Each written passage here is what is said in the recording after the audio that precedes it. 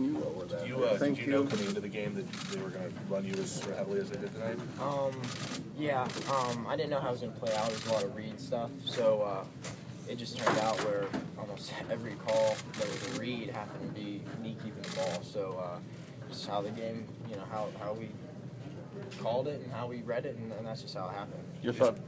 Back to high school for a bit? yeah, I guess you could say that. Yeah, it was fun. I- Is it something that was specific for Virginia Tech or something that you think will be a part of the offense moving forward? Um, we'll have to see. I don't know. Um, I, I- we had success with it, so I think we're going to keep going with it. When was the last time you caught a pass? Huh? When was the last time you caught a pass? I don't even think I did that in high school. It's the first time probably in a game. I mean, since middle school, I played receiver, but Were you nervous you were going to drop it? no, not really. I, I, I guess you could say that, but I, I trusted it. Made a good throw. Chad, they had said a few things heading into the game about not seeing a defense like theirs, and how aware were you guys of that? Was it motivation? Yeah, um, I didn't hear too much of what they said, like in their media stuff, but um, we knew that they were a good defense, and we had to man up to the challenge, and I feel like we did that. And um, our defense played lights out. You know, hats off to them. Uh, couldn't have asked much more from them. So uh, you know, that was awesome. Team team win. How much did you need this one tonight? Uh, we needed it bad. You know, it was. I got emotional after the game because I knew how big it was and um, just how hard our guys worked and just you know the it was on ESPN. You know, the stage was big and we came out and performed, so it felt amazing.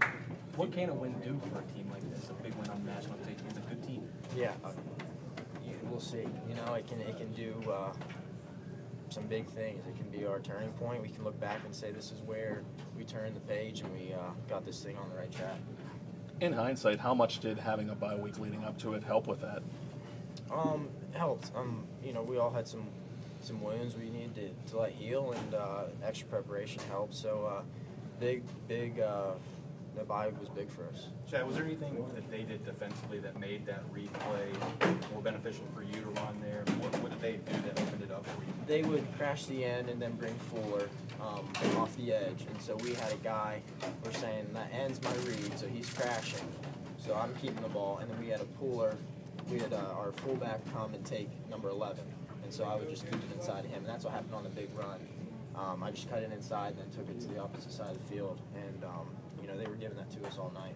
You described the pass to Tyler. Uh, it seemed like about as, as well as you could throw that one.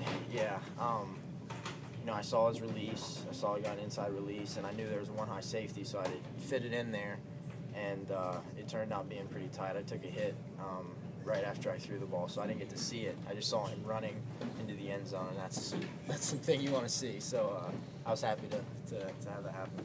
At